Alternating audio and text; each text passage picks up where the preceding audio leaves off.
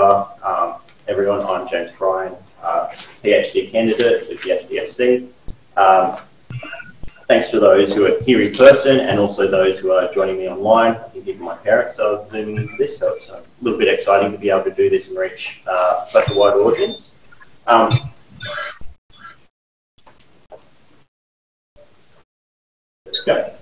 so tonight I will be talking to you about my research into the beachhead operations, uh, which were conducted by Australian and American forces against uh, the Japanese in Papua in 1942 and 1943.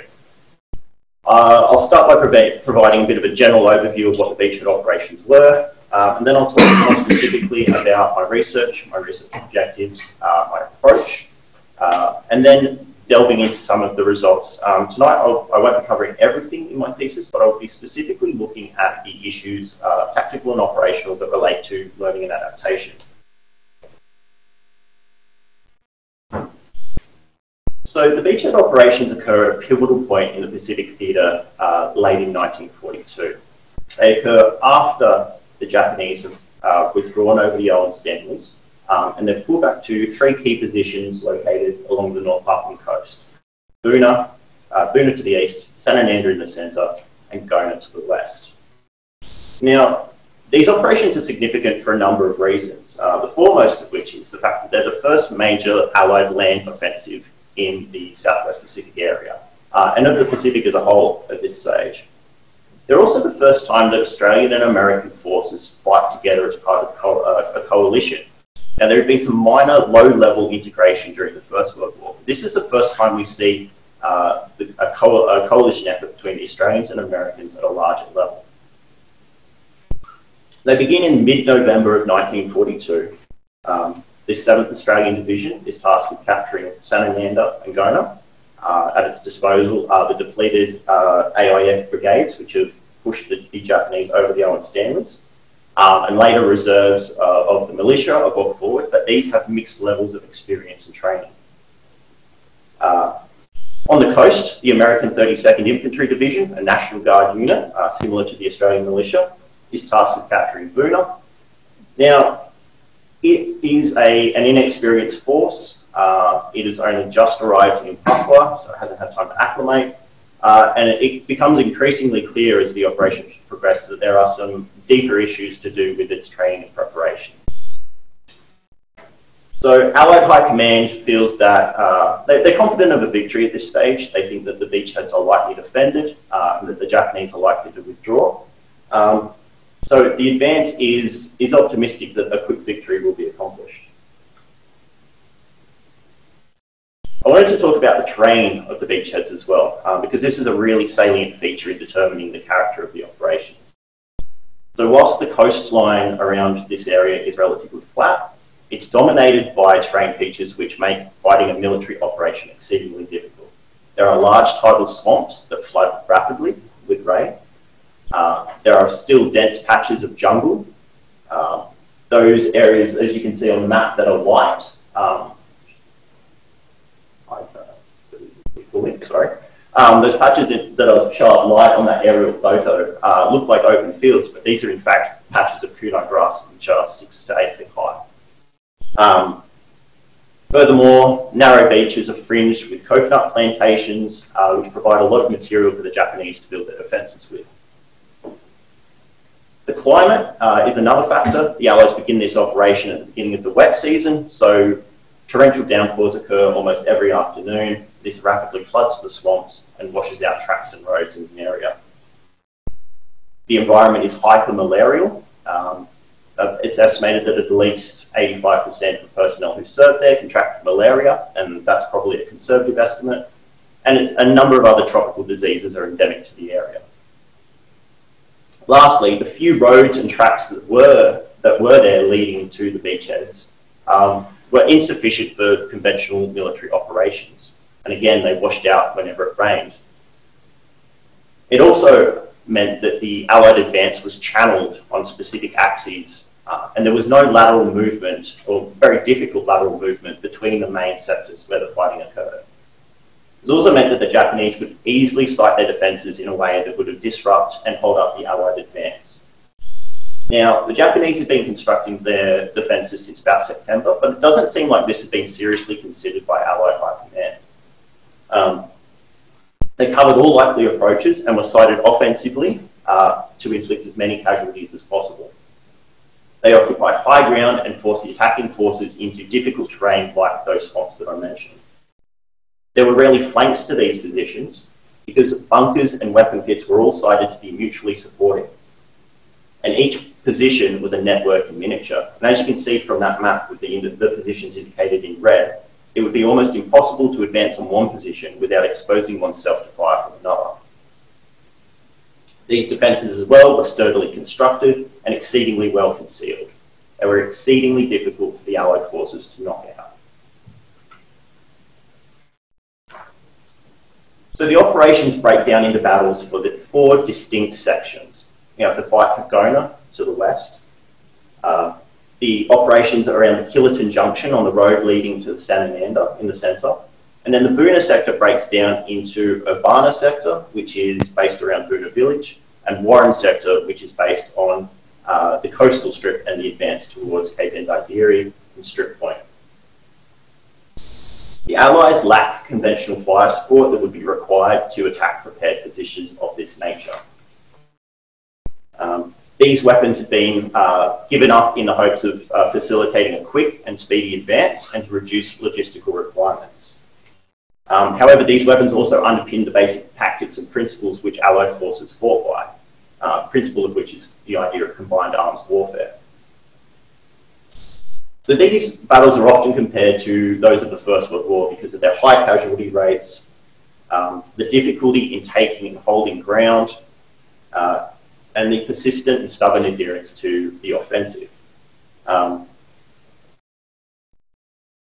these operations begin, as I mentioned, in mid-November of 1942. Organised resistance by the Japanese doesn't collapse until the 22nd of January 1943. So it takes two and a half, well, yeah, two and a half months almost to completely reduce these positions.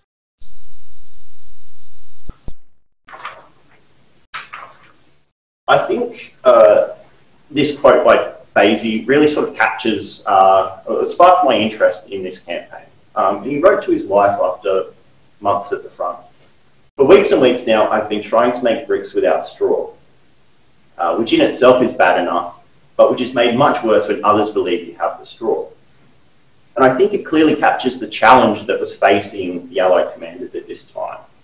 How do you dislocate and destroy a well-concealed, well-constructed network in the jungle without conventional fire support, and with forces that have mixed proficiencies in tactics and leadership. It was a task that required much of Allied commanders and their forces to identify problems, to learn from their experiences, and then adapt and find solutions to these problems. Uh, and this really influenced what I wanted to achieve in my research. What I wanted to do was I wanted to challenge the conventional tactical narrative approach that typically tells the story of the beachhead operations. I wanted to look at what factors shape the unique character of the operations, why the Allies were able to succeed, how the Allies learned and adapted to these circumstances, and also what factors helped or hindered this adaptation.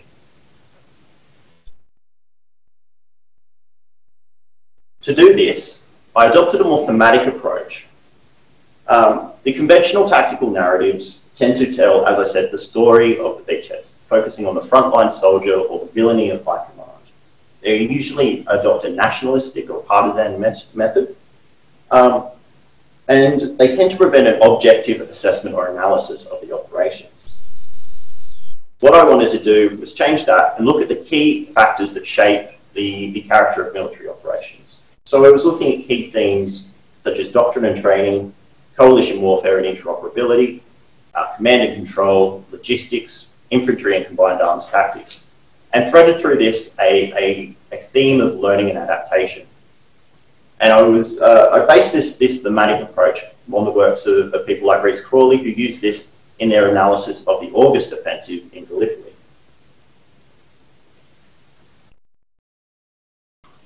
So military learning and adaptation refers to the process by which military organisations recognise problems and attempt to find solutions to them. And this can occur over long periods of time and is generally studied in terms of doctrinal developments. However, my interest was in operational learning and adaptation that occurred during the battle. As a starting point, uh, five criteria for a military learning and organ, uh, military learning organisation offer a useful framework for the beginning of this assessment. And he suggests five criteria are suggestions from the field promoted, do subordinates question superiors and policies, does the organisation challenge its basic assumptions, do senior commanders have close contact with those on the ground, and are procedures generated locally and informally or imposed centrally and from the top down? However, again, this is more suited to addressing longer term doctrinal developments. Um, so I brought in some additional ideas from the works of Williamson Murray, Michael Doubler, and Russell Park that addressed issues of competence and leadership, uh, information which is critical, uh, the collection, analysis, and dissemination of this information, uh, not only about lessons, uh, but also related to how well commanders understand uh, their, their front and their responsibilities.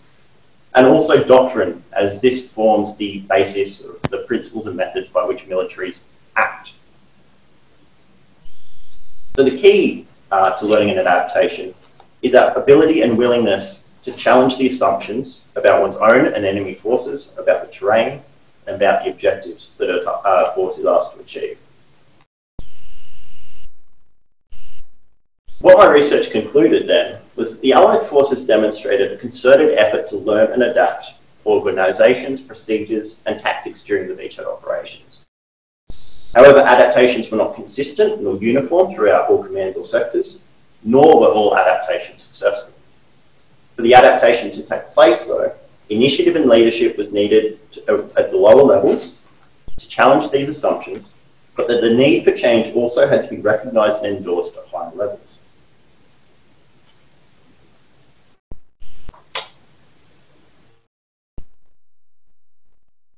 Moving into the specifics of the learning and adaptation that occurred, it's important just to note the command structure and the strategic context of these operations. Um, so General Douglas MacArthur, larger than life figure, is Commander-in-Chief of General Headquarters Southwest Pacific Area for these operations. Now, MacArthur in his headquarters performance uh, remains a really controversial aspect of these operations. Um, and these issues uh, don't occur just for the beachheads, but these are existing uh, prior to this as well. But uh, the main issues here are internal friction between senior Australian and American officers, and the development of poor perceptions of combat effectiveness based on nationalistic differences. Additionally, inaccurate intelligence assessments about the Japanese strengths and intentions in Papua, plus the failure to, uh, to accurately appreciate the realities of, of combat fundamental barriers to General Headquarters' ability to fully comprehend this operation. Most significant, though, was a persistent anxiety about the possibility of a Japanese victory in the concurrent uh, operations in the Solomons. Now, MacArthur's chief of intelligence had described this as a Pacific Verdun, uh, and it was clear that the Japanese and the US had made a complete commitment to these operations. And MacArthur was anxious about the potential outcome if the Japanese won here, what was the impact for his theatre? Now this is understandable, uh, but it was handled poorly by General Headquarters, and all it did was serve to exert continual pressure on his subordinates as they were asked to quickly achieve their objectives regardless of cost. Uh, the two main combat commands that were involved in these operations were the Allied Air Forces under General George C. Kenney, and then the Allied Land Forces uh, under the command of General Thomas Blamey. Now, Blamey served a dual role as General Officer commanding New Guinea Force as well during this period. Um, what this did, though, was it placed American combat units under an Australian commander, and this again uh, was caused resentment among senior American officers and was another contributing factor in that antagonism between Australians and Americans that I mentioned earlier. So New Guinea Force acted primarily as an administrative command um, and it remained in Port Moresby. An advanced echelon was moved over to control the tactical elements of the beachheads, and this was under the command of Lieutenant General Edmund Herring. Now, moving forward closer to the beachheads placed Herring in a better position to appreciate the realities of combat in the Pacific.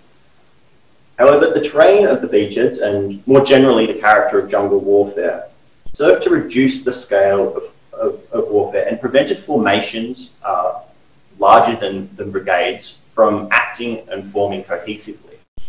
So what this did was it pushed responsibilities further down the chain of command for important tactical decision making. This meant that really uh, uh, between corps and division levels, the major responsibilities were for uh, logistics uh, and for ensuring coordination between forces.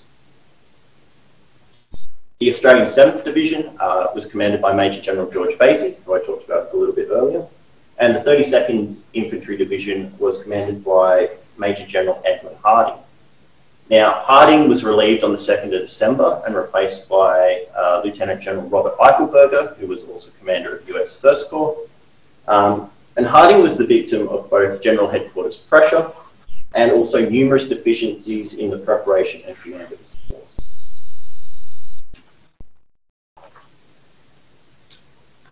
The, logist the logistical adaptations proved a vital factor in the beachhead operation.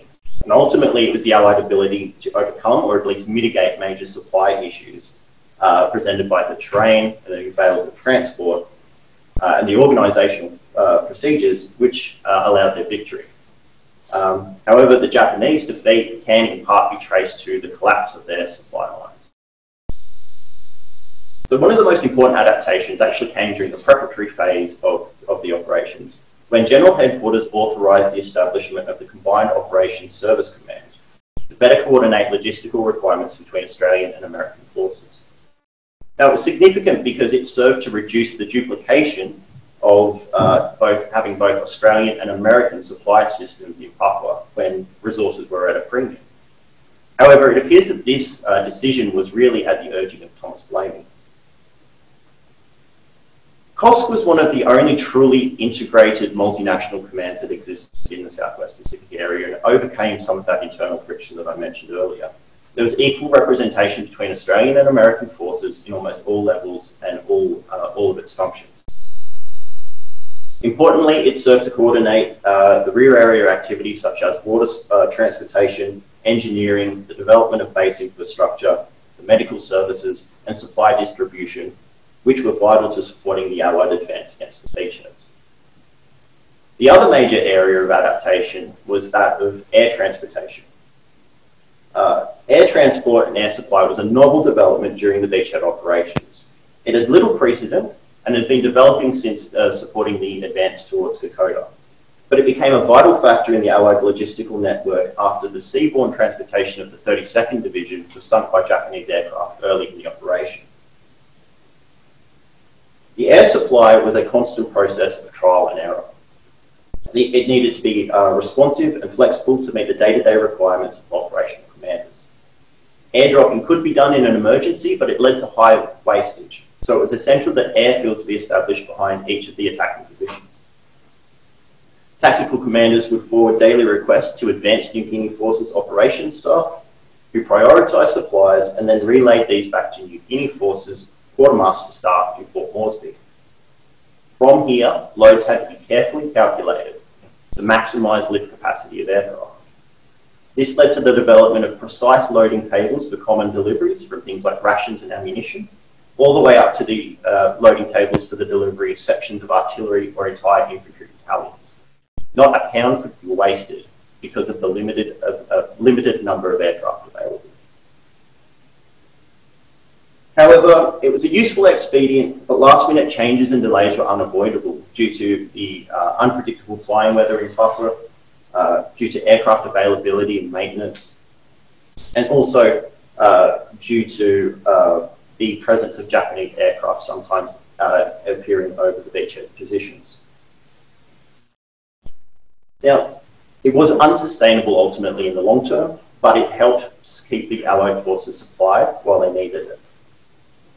The novel application of air power uh, also saw for the first time Australian and American combat units airlifted into the combat zone, and even the first time that artillery had been transported by air. Logistics in turn determined tactical capabilities, through the provision of equipment and ammunition, and this was one of the main factors in the application of artillery fire support. Logistical successes, though, were ultimately tied to the Allied Air Force's ability to isolate and control the battle space. So the Allied Air Forces played a pivotal role in establishing the conditions for operational success during the beachhead operations. Early attempts to interdict Japanese shipping were hampered by ineffective tactical approaches, inexperience of air crews, and poor weather. Now, Kenney was an innovative and enthusiastic tactical Air Force commander who was open to experimentation and open to the suggestions of his subordinates. His bomber forces switched from using medium altitude bombing as advocated by US Army Air Force doctrine and switched to low level attacks. These proved much more effective. Slower, less maneuverable heavy bombers were also switched out in favour of more mobile medium bombers. Now, after failing to intercept the first echelons of Japanese reinforcements and resupply, the Allied Air Forces executed a series of highly successful missions between the 26th of November and 14th of December, which completely disrupted the Japanese supply lines. It inflicted heavy losses against Japanese shipping and dissuaded Japanese 18th Army headquarters from continuing to use surface vessels to resupply the beachheads. In conjunction with successfully isolating the battlefield through interdiction of shipping, the long-term effects of the Allied air forces' war against destroying Japanese aircraft on the ground paid off as the Allies were able to gradually in, uh, achieve aerial superiority over the battle space. By mid-December, the Allies controlled the air. They also controlled the sea that way. The arrival of new uh, fighters like the P-38 provided the Allies with another technological advantage so the combination of aerial superiority and the interdiction of Japanese shipping prevented Japanese supply of the beachheads and allowed the Allies to conduct operations safe from Japanese air power. This helped increase the available air and sea transport, which could be used to bring in supplies and heavy equipment like artillery and tanks, which were vital to tactical breakthroughs.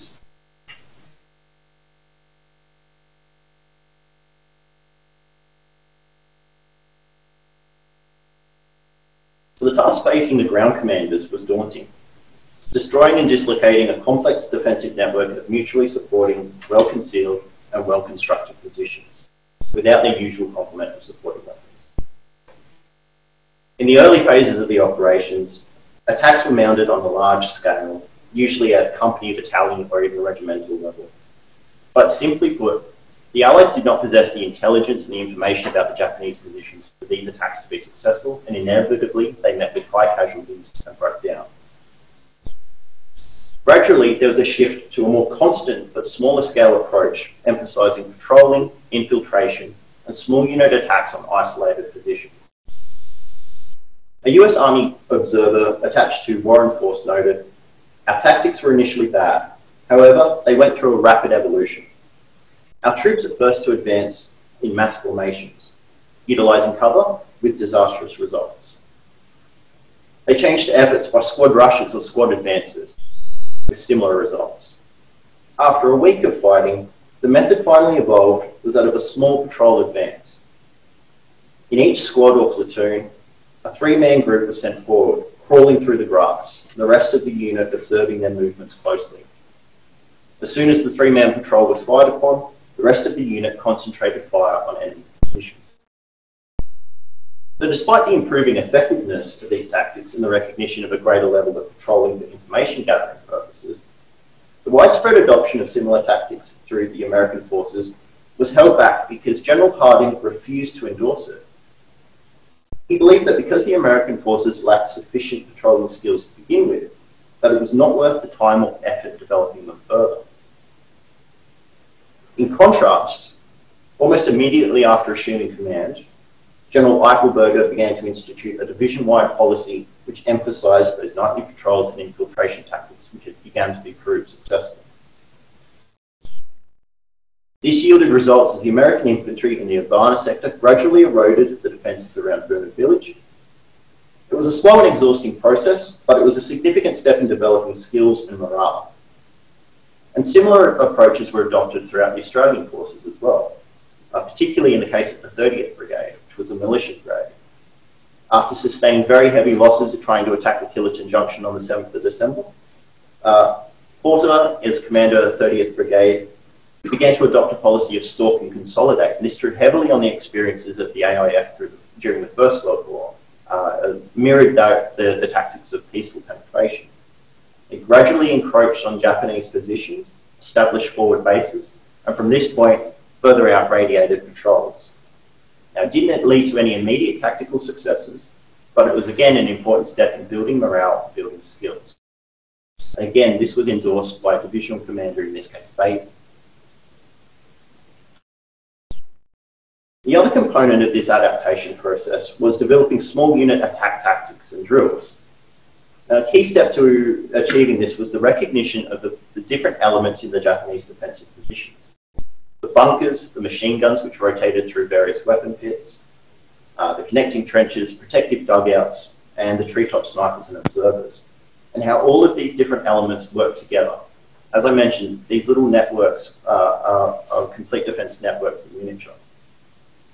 So generally, the tactical approaches broke down attacking groups into subgroups, and each group had a specific task. The 127th Infantry Regiment developed a scheme which identified those key elements and assigned a counter sniper group, a counter machine gun group, and then a sweeping group to go through and thoroughly comb the area once it was secured. Again, the 30th Brigade developed a training school to teach small unit tactics and weapon handling skills. Um, and it developed a section drill uh, for attacking uh, Japanese posts. There was specific, specific tasks for a gun group, a scout group, a grenadier group, and a supporting group. Again, the importance here of small unit tactics further served to highlight the need for highly skilled junior leaders uh, with a thorough knowledge of tactics and the responsibilities throughout the subunit. However, infantry alone could not win such a battle. Combined arms fighting, drawing on a range of supporting weapons, was still required in jungle warfare.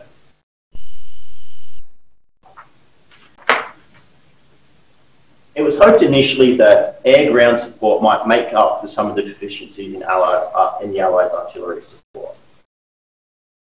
However, direct air support was the lowest priority for the Allied air forces. It again prioritised establishing aerial superiority and interdicting the battlefield.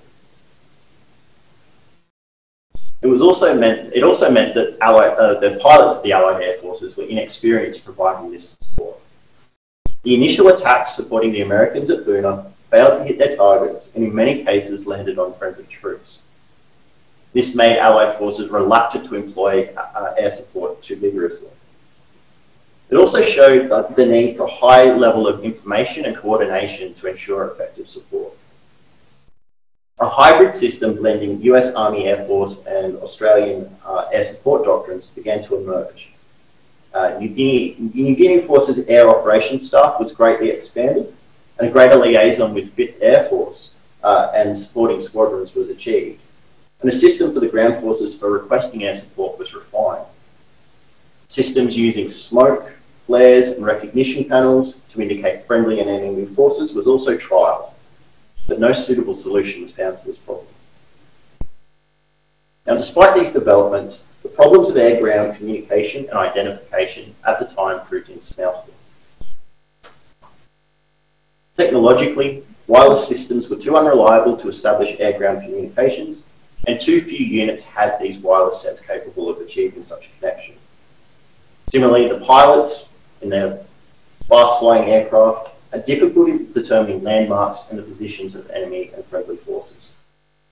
And gradually direct air support was phased out as more artillery became available.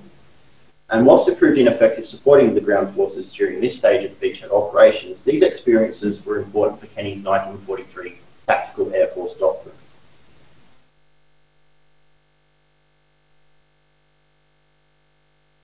So the Allied forces attacking the beachheads uh, were supported by a fraction of the usual artillery complement that they might have normally called upon.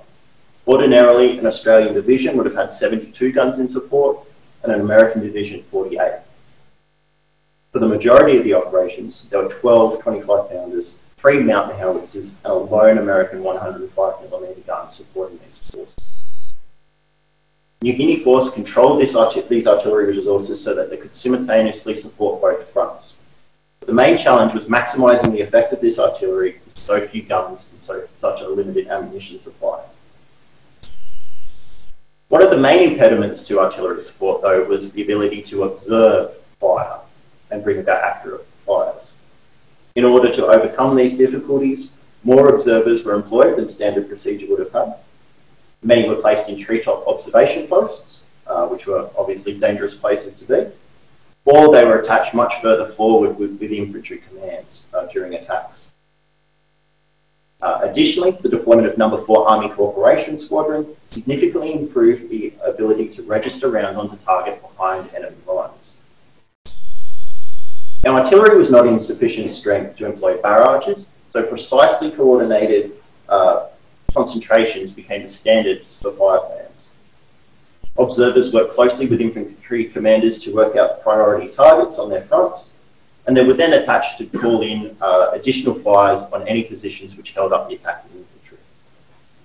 Fire plans had to be conducted much closer than the usual safe 200 metre zone, uh, the doctrine established though.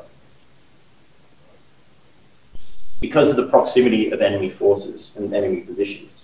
This necessitated the experimentation with charges and ranges for the artillery to achieve a suitable angle of descent, penetrate the foliage, and land a shot safely. The artillery demonstrated a high degree of technical expertise and improvisation uh, to improve the accuracy of their fires, but ultimately could not overcome the fact that the 25 pounder field gun was not effective in destroying Japanese defences.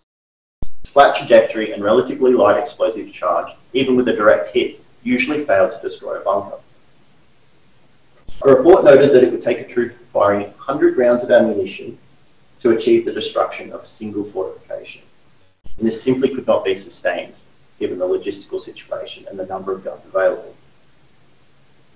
The shortage of delayed action fuses, which detonated uh, shortly after shells burst in the ground, uh, buried into the ground, further impeded the effectiveness of artillery support. Notably, to bolster the weight of fire, of, of fire plans, the 32nd Division grouped its regimental heavy mortars into batteries. Now, these were commanded by artillery officers and operated like an artillery unit. This proved a very effective use of the limited fire support to achieve effects on specific targets. However, ultimately, the effectiveness of artillery fire rested on how closely infantry could follow. Many of the American units had no experience working under artillery, and were reluctant to follow closely. This meant there were the delays in, the, uh, in these forces reaching the enemy positions, which allowed the Japanese to reoccupy their defences and repel the attackers. In the most remarkable case of infantry artillery coordination, 39th Battalion at Gona advanced with two minutes of their fire plan remaining, so that the troops arrived just as the final shells were exploding. Now, the fire plan made use of a small uh, supply of delayed action fuses, which reduced the risk to the attacking infantry, and it permitted them to reach the Japanese defences before the Japanese had recovered. As a result of this, the, the 39th Battalion penetrated the Japanese lines, broke into the centre of Gona, and caused its collapse. However, this approach was not replicated in any other sector, indicating potentially the difficulty or the failure of the information transmission from here to the high headquarters, but also potentially as a result of the limited supply of delayed action fuses. The decision to deploy tanks of the Australian uh, 2nd 6th Armoured Regiment uh, and the experienced 18th Brigade to Buna was a decisive moment in the operations. However, infantry tank uh, tactics and understanding had to be developed on battlefield. The tanks, lightly armoured M3 Stuarts were poorly suited to an infantry support role, nor had their crews had any training in infantry support. These units gradually developed practical methods and procedures for planning and executing combined infantry tank operations as the battles developed. The first attacks, made on the 18th of December, led to significant tactical breakthroughs, but also demonstrated some of the pertinent issues related to infantry tank cooperation.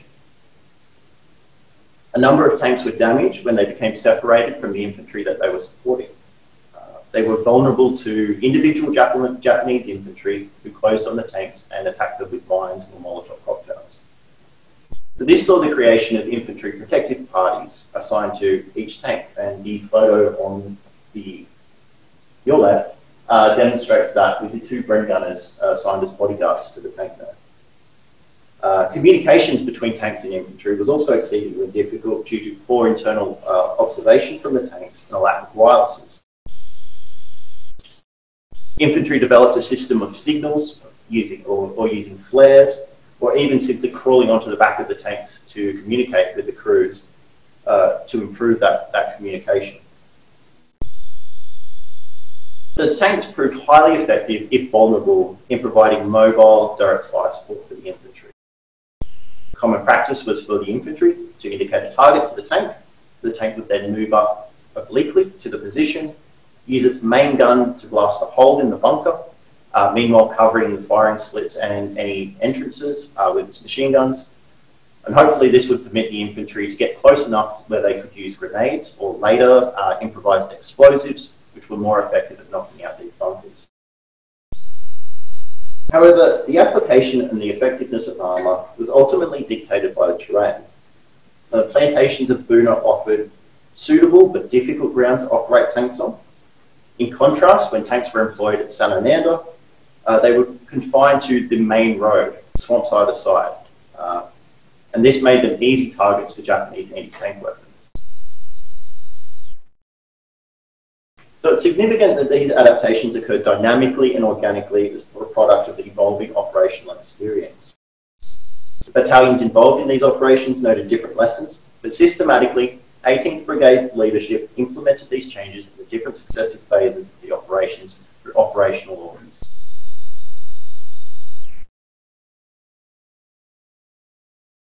So it's clear that some commands proved more able to learn and adapt than others. The factors of competence and leadership, information contributed to the ability of these commands to learn and adapt. And whilst high command, uh, the levels of General Headquarters and New Guinea Force, uh, had limited capacity to recommend tactical adaptations, they were important to in affecting the conditions for learning and adaptation at lower levels. General Headquarters demonstrated a limited ability to learn and adapt.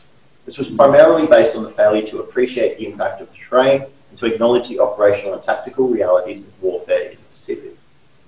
For most of the campaign, General Headquarters failed to challenge its assumptions about the Japanese defences, about the Japanese strengths, and about the limitations of its own forces.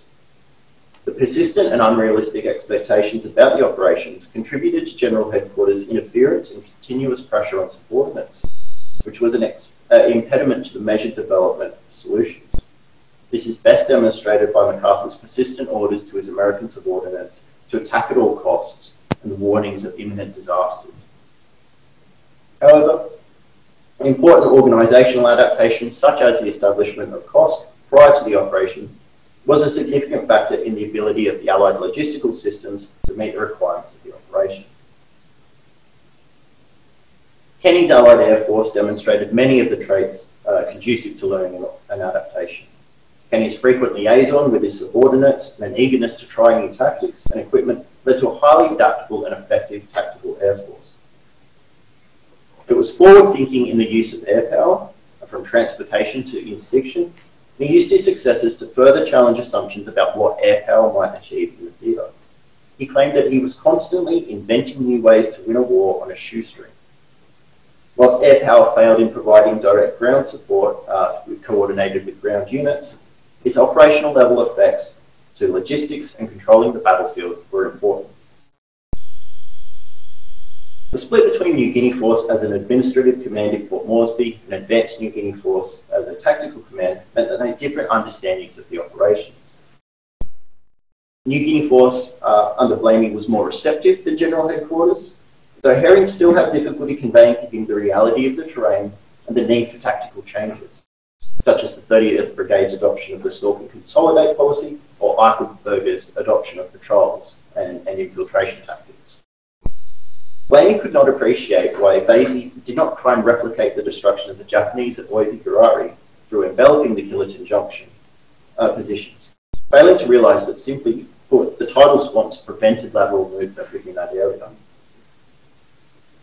Advanced New Guinea Force did not exert uh, much tactical influence, but it did collect and disseminate emerging ideas about attacking Japanese positions that drew on the combined experience of the Allied forces and promoted coordination and understanding between the Australian and American components.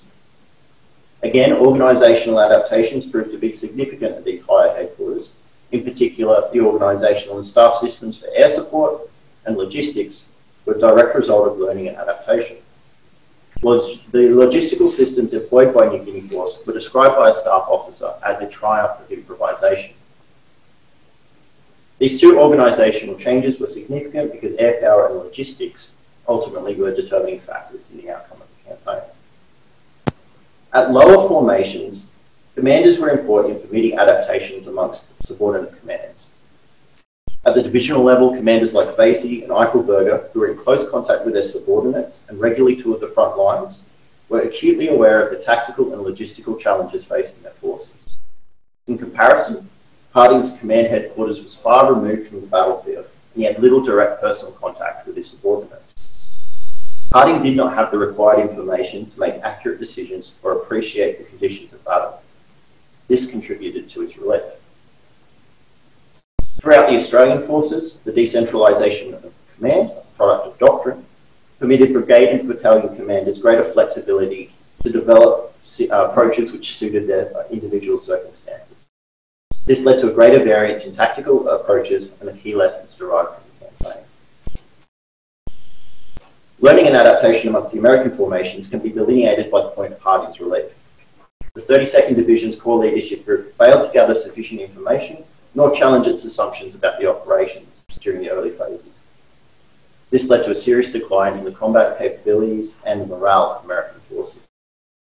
Furthermore, Harding was reluctant to change his approaches, though there was evidence that his subordinates recognized this and began adapting on their own. After Eichelberger assumed command, there was a far greater effort to adapt to the conditions. This was led by an energetic and capable staff organisation and the formalisation of lessons learned into divisional policies. Captured Japanese documents noted Americans' increasing tactical proficiency. These lessons were also filtered back to Australia and influenced the training of the 41st Infantry Division. When the 163rd Regiment was finally deployed to San Sanananda in January of 1943, it benefited from many of the lessons that the 32nd Division had learned at Buna and was, as such was able to institute counter-sniper programs and small unit drills upon its arrival.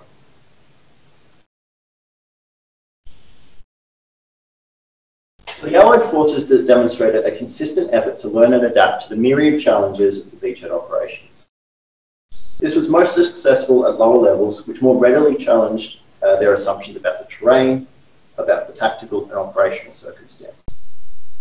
This was contingent upon the competence and leadership of commanders and their subordinates, and the ability to perceive the salient issues affecting their forces. The collection of accurate and practicable information on friendly and enemy forces was key to this. Commanders who made an effort to understand the battle adapted more readily. This information then had to be collated, analysed, and disseminated throughout the commands. However, this was difficult due to the administrative and communications difficulties of the operations, and also the disjointed battlefield, which uh, was split across multiple sectors. There doesn't appear to be much evidence of cross-organisational adaptation between uh, the Australian and the American forces. Uh, though there does seem to be, there is evidence of them sharing information, sharing intelligence, and sharing lessons. But it doesn't appear that any tactical methods were directly pinched from one force or another. Doctrine and training form the basis from which learning and adaptation occur. Units with a greater relative training disadvantage face a higher threshold to reach tactical proficiency, uh, and the adaptations often had to serve a training function as well. There was much that was new and unanticipated during the beachhead operations, but few of the adaptations were truly revolutionary. Allied doctrine was sound, but the difficulty was in determining how key principles and methods could be applied in jungle terrain. Experience confirmed this in the eyes of many commanders. Our adaptations were often practical uh, responses to either maximize, uh, maximize the available resources or to mitigate the inherent disadvantages the attackers faced. Learning and adaptation was not consistent or uniform because of the different circumstances of each formation and unit. Whilst the, major, the first major Allied offensive operation against the Japanese in the Pacific resulted in a complete victory and the elimination of the Japanese forces in Papua, it came at a high price. These lessons, often as they are in warfare, were paid for in blood. The organisations, procedures and methods employed by the Allied forces at the conclusion of the beachhead operations differed greatly from those at the start. The straw, which Vasey referred to, was far less than what was conventionally available and often had to be improvised and adapted from what was on offer. At the tactical and operational level, Allied forces demonstrated a concerted effort to learn and adapt to the unique and challenging circumstances of the beachhead operation. For adaptations to take place, though, initiative and leadership was required at all levels of command to challenge the assumptions about the terrain, the task, friendly and enemy forces. Though adaptations did not always lead to immediate tactical successes, they are an essential component in the Allied victory and the development of the doctrines and practices that would see the Allies through 1943 and 1944. Thank you for your attention, everyone. I am happy to let the video run out and field any questions that anyone has.